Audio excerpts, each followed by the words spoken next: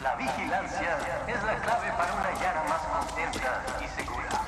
Estén alertas para los yaranos falsos en los cafés, las tiendas, los parques y aún en casa.